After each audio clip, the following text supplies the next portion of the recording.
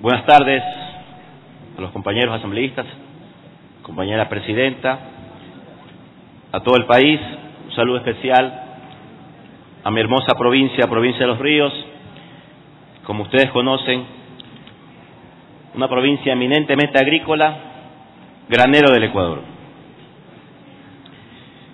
Creo que es fundamental el día de hoy tratar un tema que tiene una injerencia directa en una propuesta manifestada por el compañero Lenín Moreno durante el proceso de campaña y que la ratificó en este mismo salón el día de su posesión, ratificando que uno de los ejes fundamentales para el desarrollo del país en este nuevo periodo de gobierno es el apoyo al agro, es el apoyo a la agricultura. Y creo que es fundamental tratar este tema acá hoy. Dentro de la comisión hemos debatido intensamente este veto parcial a la ley de semillas.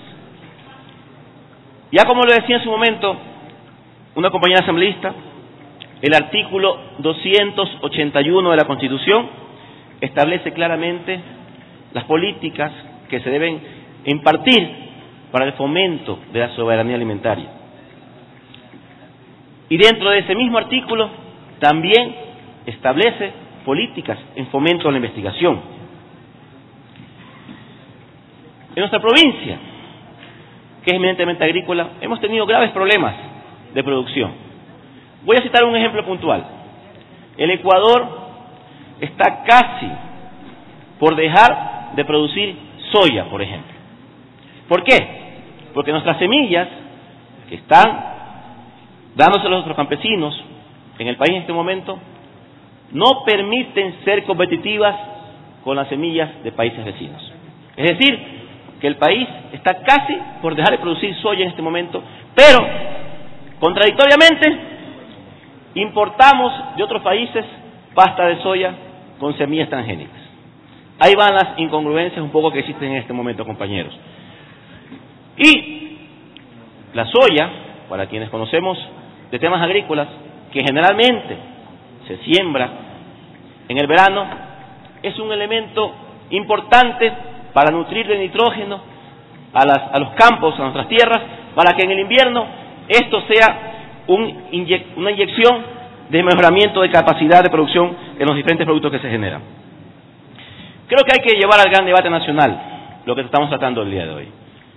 Hay que, hay que eh, sopesar lo que significa el supuesto, eh, la supuesta afectación al tema de salud y medioambiental versus, versus la afectación real que el Ecuador está teniendo en este momento en términos de ser competitivos con los países vecinos en términos de ser competitivo con quienes también tienen en la agricultura una base fundamental en sus economías en otros países.